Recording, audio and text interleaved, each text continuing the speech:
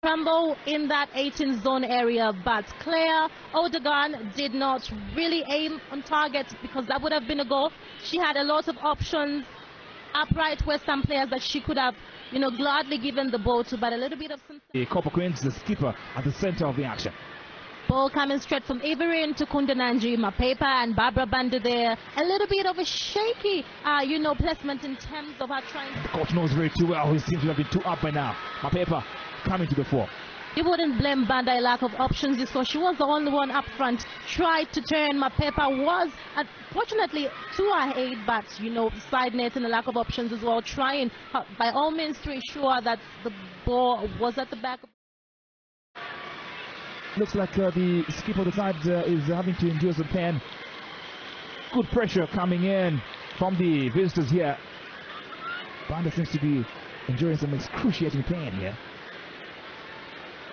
Oh, that's something to worry the coach, but here's how it happened. Beautiful run from Barbara Banda, and there was Mapepa. Seemingly there was defender Barbara Banda being quite pivot in ensuring that Bruce Mwape and his side take an early first half lead. 17th or 16th minute, they had to wait until the first goal, but see, it wasn't their own goal, but an own goal.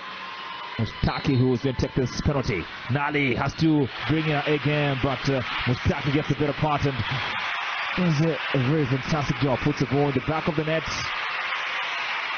Vera Pauw, very impressed with what uh, she has witnessed. Such poise from the prolific. Uh,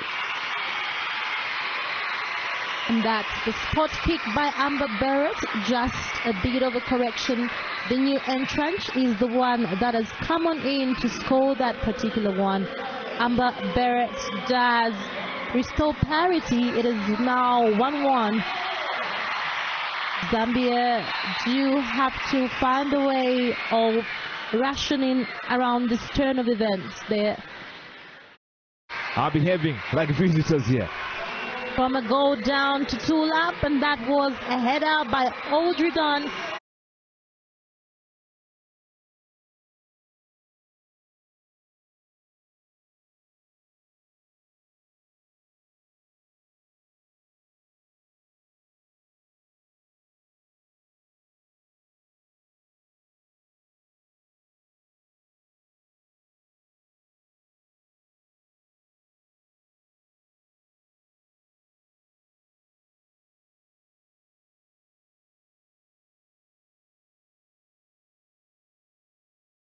And Barrett makes it two for herself and three for her nation.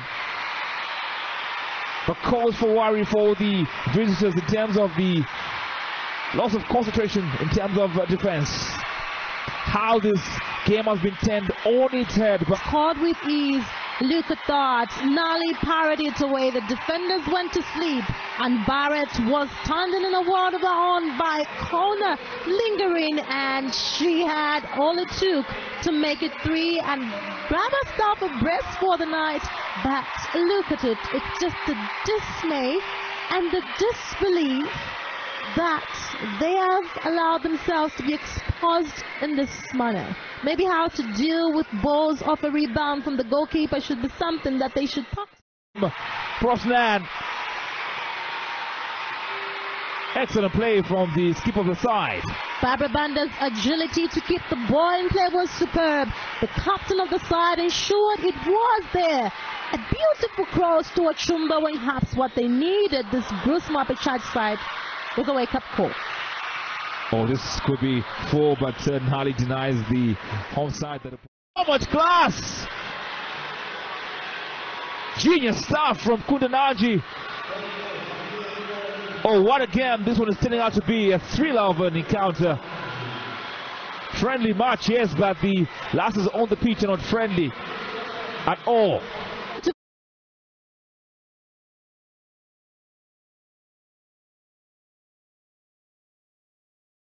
To make it to for the Copper Queens. I would say game on.